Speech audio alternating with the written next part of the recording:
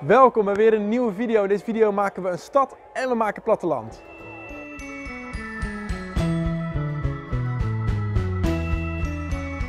Leuk dat je weer kijkt naar een nieuwe video. Mijn naam is Martin en ik bouw kerstdorpen op dit YouTube kanaal. En ik werk voor Tuincentrum Aralia en Wispel Village, waar je eventueel online je spullen zou kunnen bestellen. Nou, vandaag gaan we een stad en een stukje platteland bouwen. Dus uh, voor de stad gebruiken we huisjes uit de Lemax collectie van Carrington Village. En voor het platteland gebruiken we huisjes van Harvest Crossing, ook uit de Lemax collectie. En achter me zie je al een beetje wat het gaat worden vandaag. Um, we willen dus onderin willen we juist meer stad, een winkelstraat. En we willen juist dat het uh, een beetje afloopt in, in drukte. Dus de huisjes gaan wat verder uit elkaar staan naar boven toe. En daar maken we weides met dieren en een beetje dat plattelandgevoel willen we daar neerzetten. We hebben hier alvast wat hoogte aangebracht door verschillende blokken piepschuim te stapelen. Daaroverheen hebben we peurschuim gespoten en hier onderin zie je hoe dat in zijn werk gaat. Je spuit gewoon rondom en het peurschuim zet natuurlijk zelf uit. Dit laten we een tijdje drogen en dan kunnen we beginnen met verven. Het leukste is natuurlijk om een paar verschillende tinten bruin of grijs aan te brengen. Daaroverheen strooi ik in dit geval wat fijn mos van My Village. Je ziet hier ook gelijk een fantastische waterval die we met Kit hebben gemaakt. Ik vertel later in deze video hoe we deze hebben gemaakt. Nu eerst verder met deze berg. Doordat het volledig bestaat uit peurschuim en piepschuim, kan ik eenvoudig de kerstboompjes erin prikken en staan ze gelijk goed. Wanneer je de boompjes koopt zit er standaard een wit voetje onder, zodat je deze eenvoudig op een vlakke ondergrond neer kan zetten. Maar deze kan je er ook gewoon afdraaien, zodat je alleen het ijzerdraadje overhoudt. Ook gebruiken we de flexibele uh, heggetjes van Lema. Deze kan je met een ijzerdraadtang eenvoudig op maat knippen. Omdat ik deze ook in de berg wil prikken en ik deze zojuist heb afgeknipt, maak ik hier een ijzerdraadstukje aan, zodat ik deze ook um, verder in de berg kan zetten.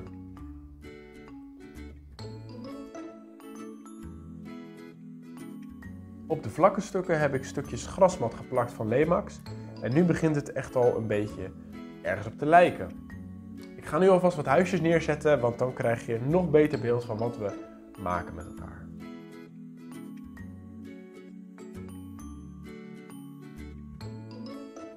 Dan beginnen we nu met het maken van de waterval. Ik heb eerst wat plakband aangebracht. Uh, je kunt waarschijnlijk ook een andere plastic ondergrond gebruiken. Als het in ieder geval maar iets is waar de kit niet aan hecht. De kit smeer ik ruw uit met de satéprikker. En even later is het droog en haal ik het van het plastic af. Nu moet je je rivierstrook alleen nog maar met kit aan je berg bevestigen. Dus bovenaan de berg gebruiken we nog wat extra kit en dan zit hij vast.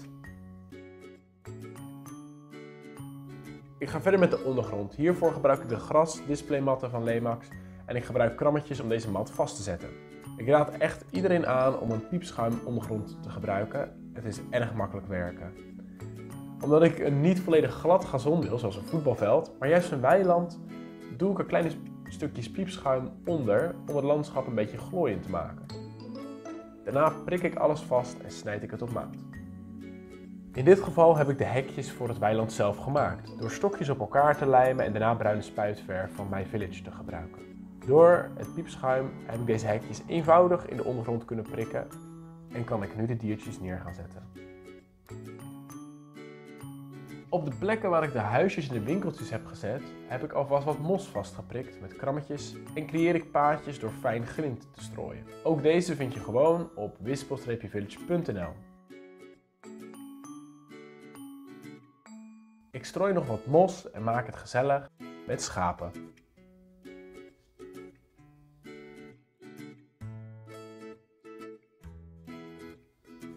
Hier is goed te zien dat je altijd van boven naar beneden moet werken. We beginnen weer met de basis door de platen van piepschuim op de juiste maat te zagen. Dit kan eenvoudig met een mesje of een gewone houtzaag.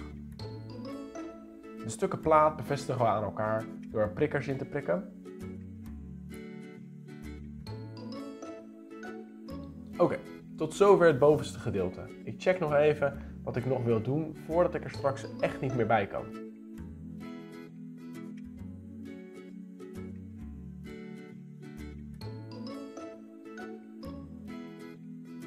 Deze grote boom bijvoorbeeld lijkt me leuk om hier nog in het midden te plaatsen.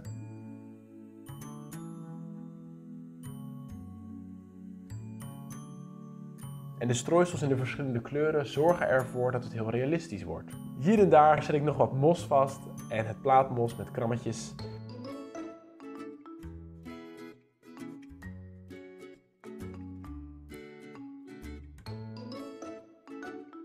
En het fijne mos um, doe ik speciaal met lijm.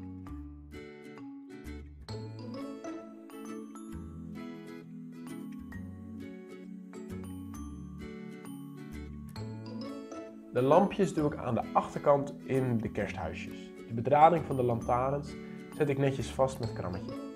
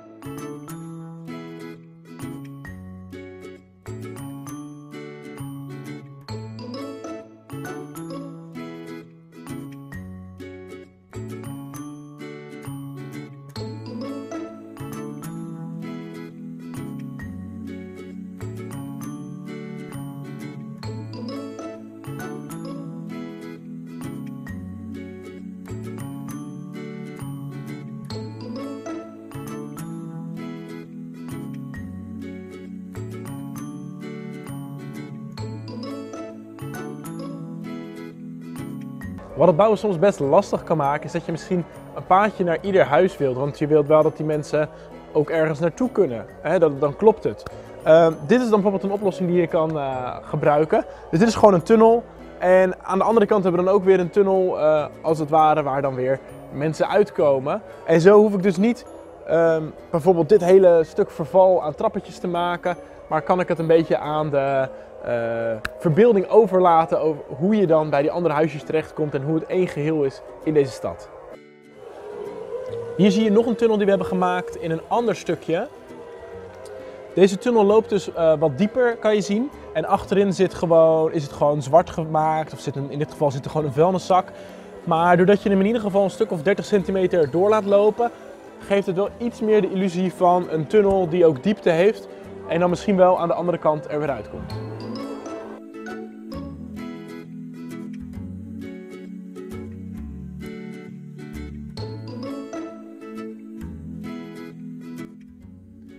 Oké, dus de huisjes staan, de verlichting is aangesloten en nu ben ik poppetjes aan het verzamelen en aan het plaatsen in het dorp. Ik heb nog een aantal stukken peurschuim die ik wil vastprikken. En dan kan nu de echte aankleding beginnen. Ik gebruik allerlei verschillende mosjes, grintjes en ook kurk. En eigenlijk nog veel meer materialen om een afwisselend beeld te creëren.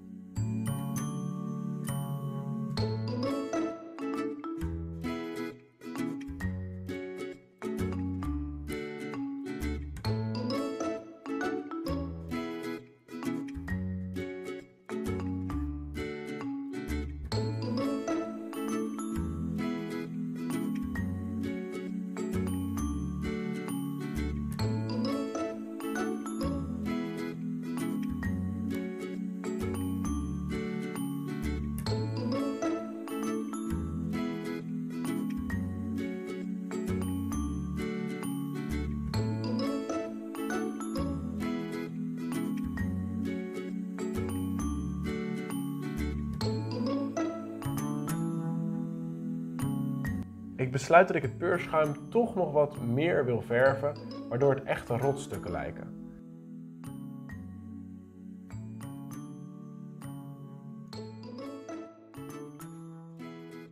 Tussen de rotsen in leg ik kleine takjes die eigenlijk grote bomen moeten voorstellen.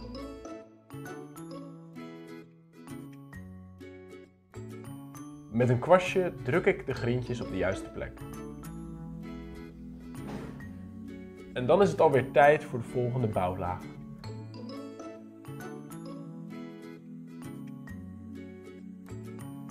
Ik zet het piepschuim weer vast met prikkers.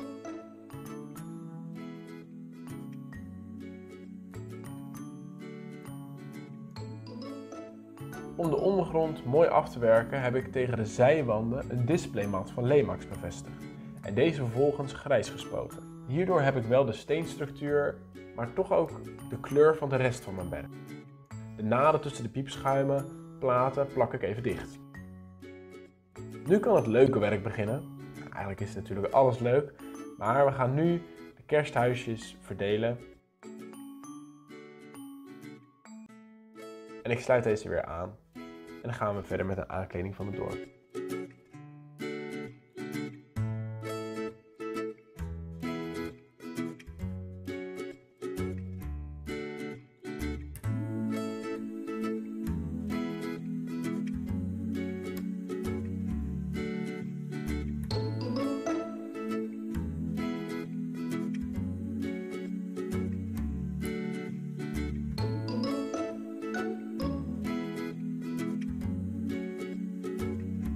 Snij een stukje van een piepschuim af om zo een tafelstukje wat dieper te laten liggen.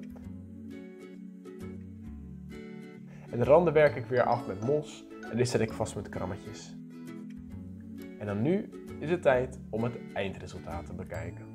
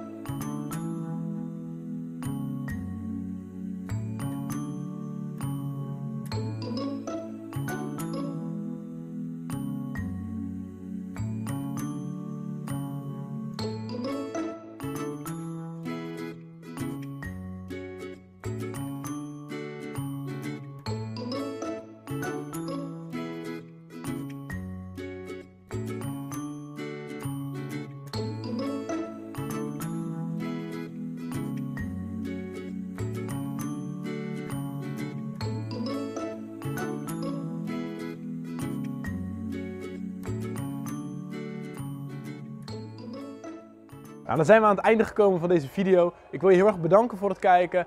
Geef even een duimpje omhoog als je het een leuke video vond. Dat helpt ons kanaal om te groeien en nog meer leuke video's voor jullie te maken. Uh, en abonneer dan ook natuurlijk op ons kanaal. Druk op het belletje, krijg jij een melding als we een video plaatsen. Um, je kan altijd langskomen bij ons in het tuincentrum of op wispelvillage.nl kan je kijken naar de producten die wij verkopen. En dan hoop ik je bij de volgende video weer te zien natuurlijk. En ik heb alvast een filmpje voor je klaargezet.